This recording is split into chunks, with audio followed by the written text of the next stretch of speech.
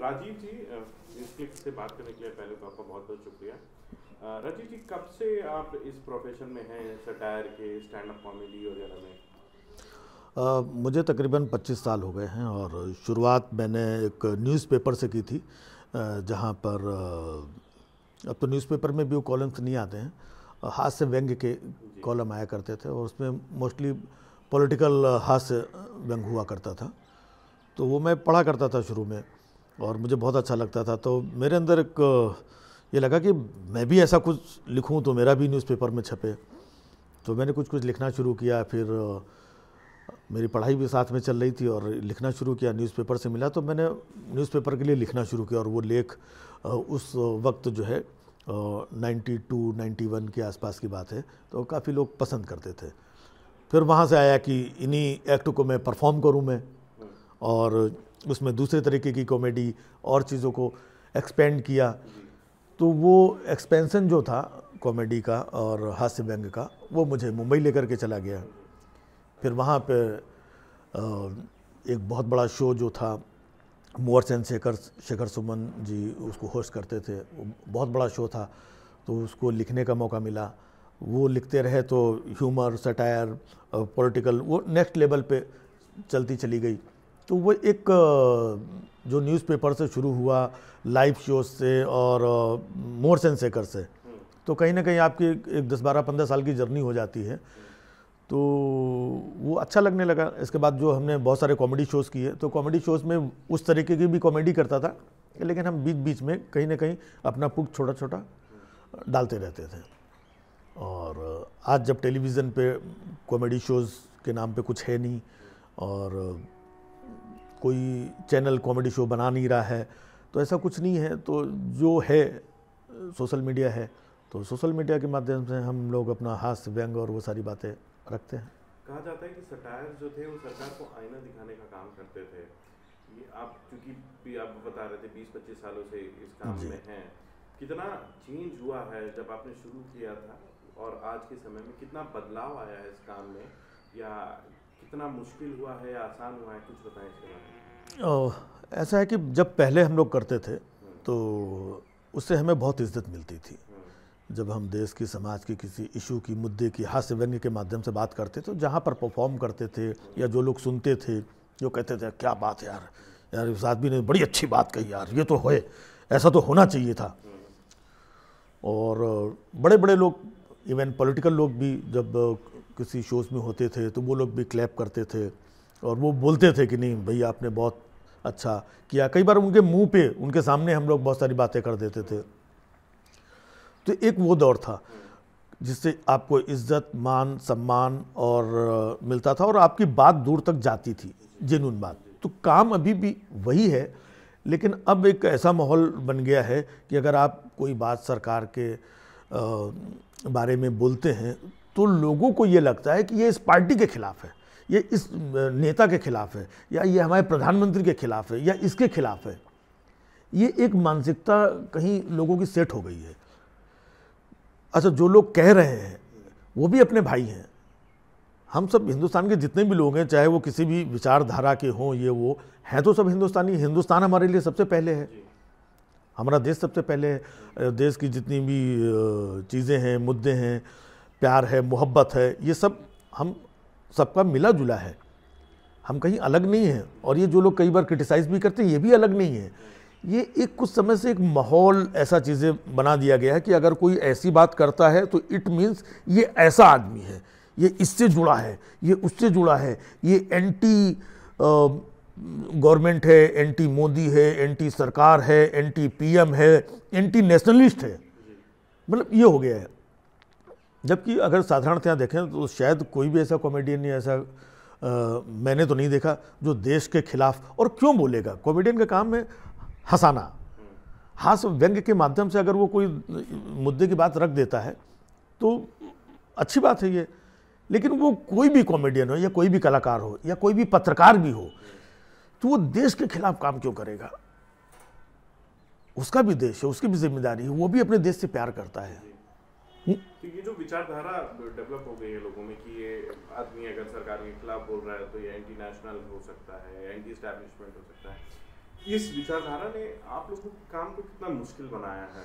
बहुत बहुत मुश्किल बना दिया है। काम आसान है ये लेकिन इस दौर ने इस विचारधारा ने इसको मुश्किल बना दिया है। हम्म, क्योंकि जब तक इजी लेवल पे हम लोग बोलते थे और इजली रिसीव भी होता था अब इजली रिसीव नहीं हो रहा है।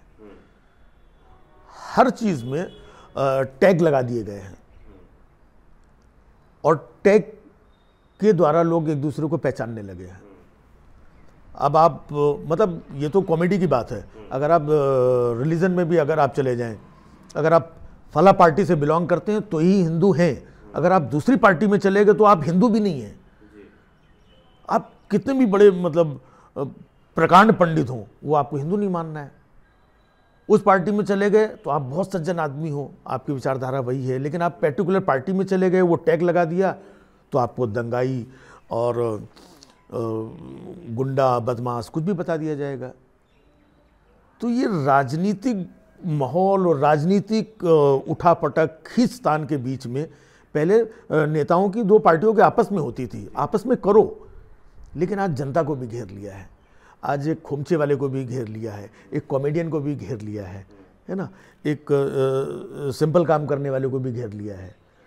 तो इससे दुख होता है और हम लोग हाथ से व्यंग करते करते जो हम लोग इतना सीरियस नहीं थे कि हम हम लोग ऑनेस्टली देश के साथ जुड़े हैं लेकिन ऐसा नहीं लगता था कि हमको देश के लिए अ, हम कुछ कर पा रहे हैं नहीं कर पा रहे हैं।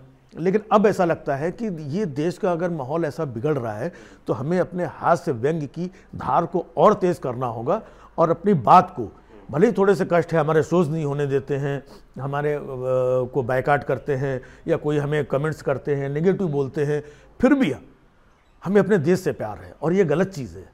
इस गलत चीज़ को हमें मिटाना है, इस नफ़रत को, इस बुराई को मिटाना है, तभी हमारा देश अच्छा होगा। तो हम सारे देशवासियों के बारे में और देश के बारे में सोचते हुए पंगे लेकर के कष्ट लेकर के तकलीफ़ लेकर के भी ये काम कर रहे हैं। क्यों? क्योंकि हमें देश से प्यार है और हम करते रहेंगे। अच्छा अभी हाल ही के दिनों में पिछले कुछ महीनों में हमने देखा कि कुछ बड़े कॉमेडियंस जिनका मतलब काफ़ी बड़ा था मुनव्वर फारूकी हो गए उन्होंने शायद वो शब्द कहे भी नहीं जिसकी वजह से बवाल हुआ उनको जेल में कई महीनों तक रखा रहा। आज अभी भी वो केसेस ट्रायल में है शायद। कुणाल कामरा के शोज़ नहीं होने दिए गए। तो उसके बारे में क्या कहेंगे? अगर इसी को अगर एक शब्द में मैं कह दूँ तो लोग मेरे ऊपर अटैक करना शुरू कर देंगे। ये बिकॉज़ ऑफ़ तालिबानी सोच। तालिबान क्या है? तालिबान वहाँ जो अफ़गानिस्तान में वो लोग करते हैं, सिर्फ़ तालिबान वही नहीं है। आप एक स्मूथ चलती हुई चीज़ को आप चलने नहीं दे रहे हैं। क्योंकि हम नहीं चलने देना चाहते हैं। तो आज कुणाल कामरा का उसका एक तरीका है। उसने ऐसा क्या कर दिया है? तो ये कुछ लोग हैं जो हम नहीं करने देंगे। अब हमारी लड़ाई कहाँ पर होती है? ये सरकार नहीं मना कर रही है। ये सरकार ने नहीं मना किया कि सरकार ने कभी ये नहीं बोला कि हम तुमको ऑडिटोरियम नहीं देंगे, हम तुम्हारा शो नहीं होने देंगे। ये कुछ अराजक तत्व है। और इन्हें हो सकता है कि सरकार का संरक्षण प्राप्त हो। अदरवाइज़ अगर कहीं पर गलत हो रहा है तो सरकार को उठ के खड़ा होना चाहिए, क्योंकि बड़ी बात है, बड़ा मैसेज है। एक तरफ़ आपको देश की मर्यादा की चीज़ों की चिंता होती है, दूसरी तरफ़ आप इस तरीके की हरकतें करके, जब मीडिया है सोशल मीडिया है ट्विटर है, और भी कहीं ना कहीं से देश दुनिया में बात पहुँचती है कि इस तरीके से वहाँ पर हिंदुस्तान में ऐसा हो रहा है तो आप देश के नाम को ख़राब कर रहे हैं। और दूसरी तरफ़, आप ये कहते हैं, हम देश को जो है बहुत ऊपर रखना चाहते हैं, देश का भला, हमारी आंतरिक मामलों में कोई तो आप खुद ही तो कर रहे हैं ये। तो कितना मुश्किल हो गया है काम करना। तो अच्छा सम टाइम कभी कभी ऐसा भी नहीं है कि सारे लोग बहुत अच्छा अच्छा कई बार है किसी की टंग स्लिप भी हो सकती है। आज मोदी जी ने कह दिया अ, हम तो बोलते हैं हमारे प्रधानमंत्री कई बार बोलते हैं मोदी जी हमारे प्रधानमंत्री यार मोदी जी की टंग स्लिप हो गई। बेटी बचाओ बेटी पटाओ।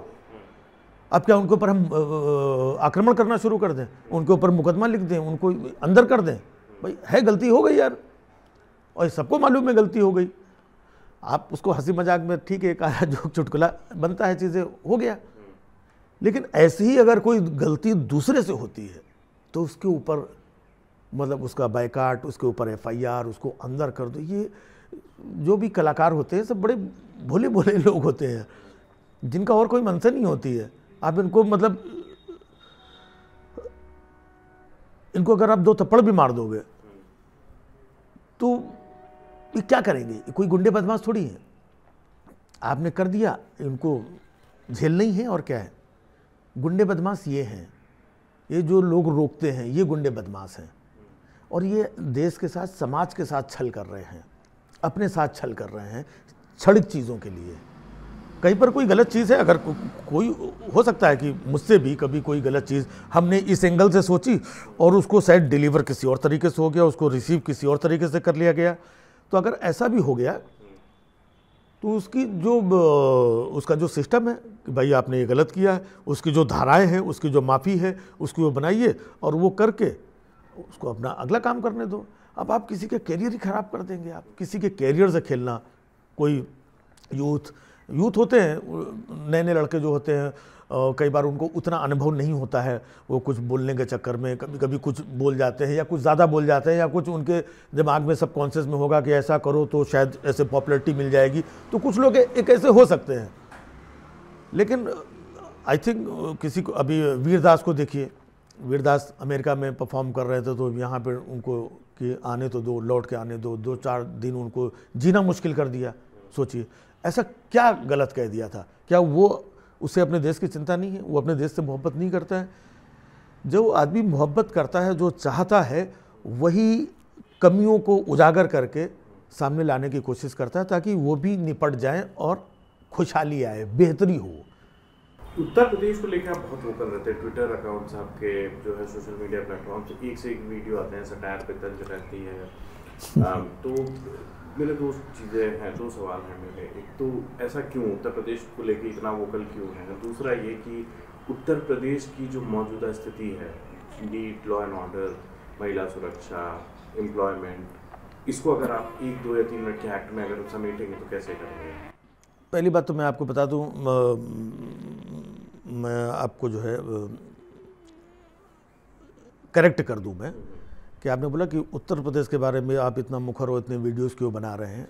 ये उत्तर प्रदेश में चुनाव चल रहे हैं, इस वक्त वीडियो बना रहा हूँ, आपको दिख रहे हैं, लोगों को लग रहा है तो इस वजह से उत्तर प्रदेश की बात हो रही है। लास्ट ईयर बंगाल के चुनाव थे, असम के चुनाव थे, उस पर वीडियोज़ बनाता था। ठीक, उससे पहले महाराष्ट्र के इलेक्शंस थे, वहाँ पर जो जो होता था, मैं उसके बारे में बनाता। तो ये जो जहाँ पर हलचल होती है, जहाँ से मटेरियल और हाँ कंटेंट मिलता है तो उन्हीं चीज़ों को बनाते हैं। आजकल सबसे ज़्यादा हलचल यहीं पर है। कहने को तो पाँच राज्यों के चुनाव है, लेकिन मणिपुर की खबरें आप भी कितनी दिखाते हैं? वहाँ के चुनाव के हलचल बाकी चैनलों में कहाँ कितनी नज़र आती है? नहीं है। उत्तराखंड की भी है। थोड़ी सी है। सबसे ज़्यादा हलचल उत्तर प्रदेश की होती है। और दूसरी बात यह है कि मैं भी उत्तर प्रदेश से हूँ, बहुत सारी चीज़ों को मैं जानता, समझता हूँ मैं।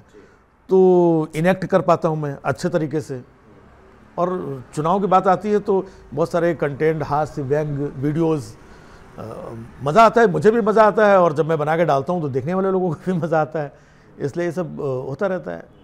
उत्तर प्रदेश की मैं बात कर रहा था मौजूदा हालात को अगर आप समेटेंगे दो तीन मिनट में मतलब एक छोटे से एक्ट में तो आप कैसे समेटेंगे? सभी फैक्टर्स को डिटरमाइन करते हुए लॉ एंड ऑर्डर महिला सुरक्षा एम्प्लॉयमेंट और छुट्टा पशु का एक बहुत बड़ा इशू है उत्तर प्रदेश में। उत्तर प्रदेश में आवारा सांडों की कमी नहीं है।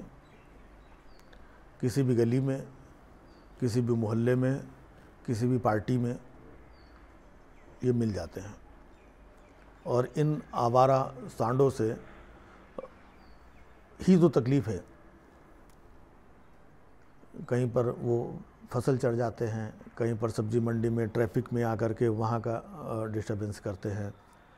तो मैं सिर्फ़ यही कहता हूँ कि जो एक तरफ़ कहने के लिए ना हो, जैसे गाय माता गाय माता, काफ़ी दिन से चल, गाय माता सदियों से हैं, आज भी और हमेशा रहेंगी गाय माता।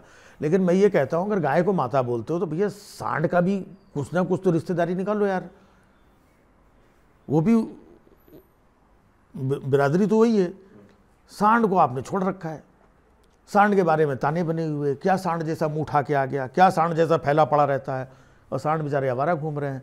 तो भैया, गाय माता है तो सांड को भी कोई चाचा, फूफा, ताऊ कुछ बनाओ, इनकी भी कुछ मतलब खातिरदारी करो ताकि ये इधर उधर फ़सलों में, खेतों में, सड़क में और ट्रैफ़िक में, सब्ज़ी मंडी में ना घूमें। और रही बात महिला सुरक्षा की तो महिला अब यहाँ पे बहुत सुरक्षित है और बहुत खुशहाल है महिला।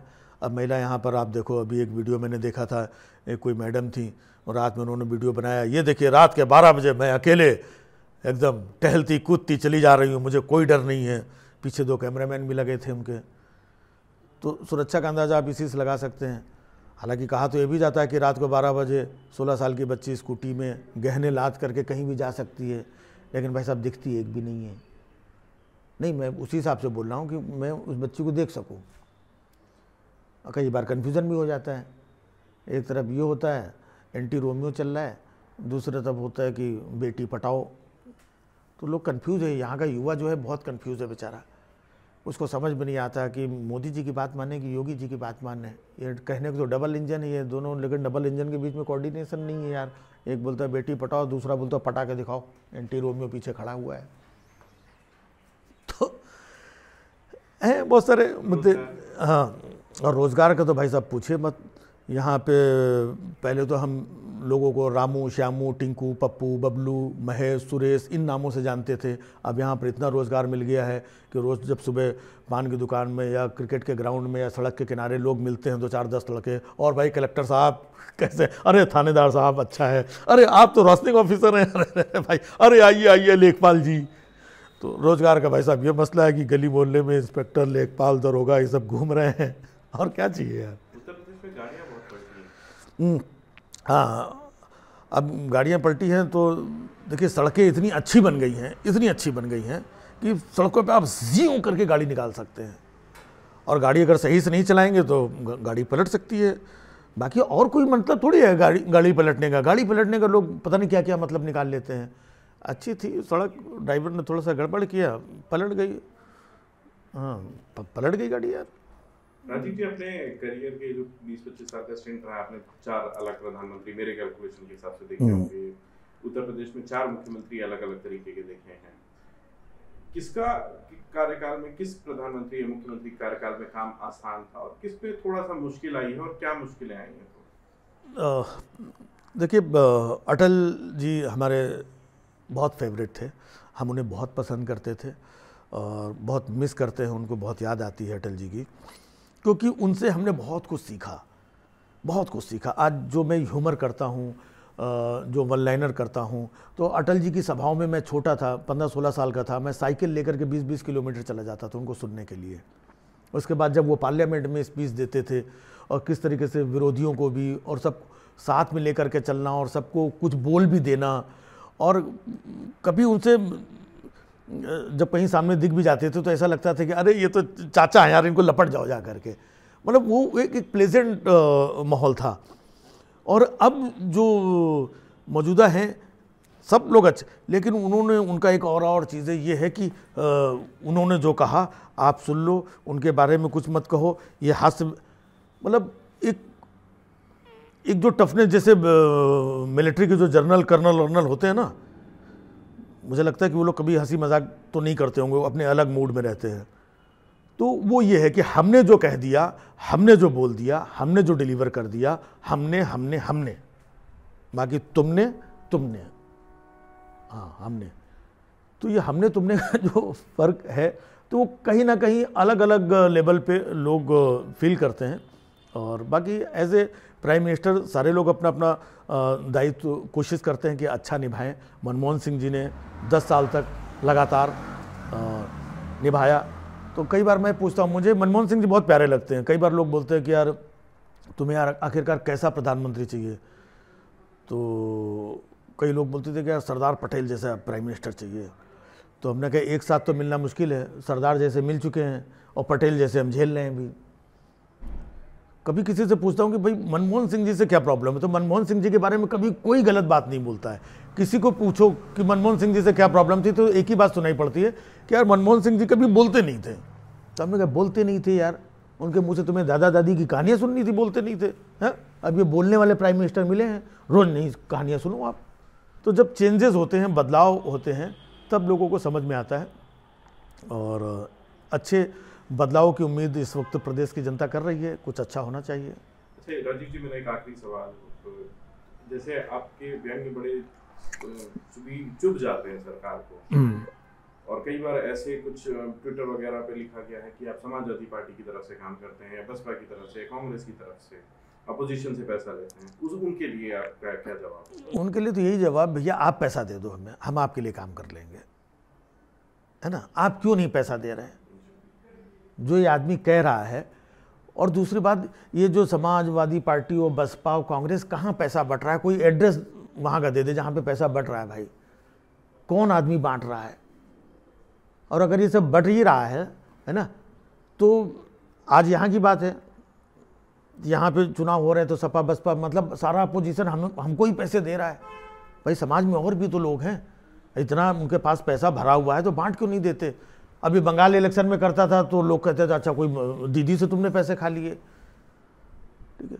दिल्ली के इलेक्शन होता था तो केजरीवाल से पैसे खा लिए। तो ये सारे लोग पैसे देने के लिए सिर्फ़ आ, मुझे ही बैठे हुए हैं कि भैया निगम साहब कहाँ हो? जल्दी आओ पैसा बहुत रखा लेके जाओ यार यहाँ पे खराब हो रहा है यार। कल को मोदी जी ने नोटबंदी कर दी तो फिर बाद में मत बोलना भाई साहब ये ले जाओ ये लो। ये लो दो करोड़ ये लो पाँच करोड़ ये लो आठ करोड़। भाई साहब पैसे इतने बढ़ रहे हैं है? कैसी सरकार चाहेंगे आप आने वाली चुनाव है उत्तर प्रदेश में? सरकार ऐसी हो जो जिससे हर तरीके की जनता को अपनापन लगे।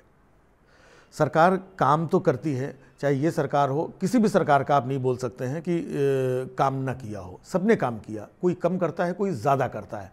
लेकिन एक होता है माहौल की बात एक लॉ एंड ऑर्डर और एक सामाजिक वातावरण वो बना रहे।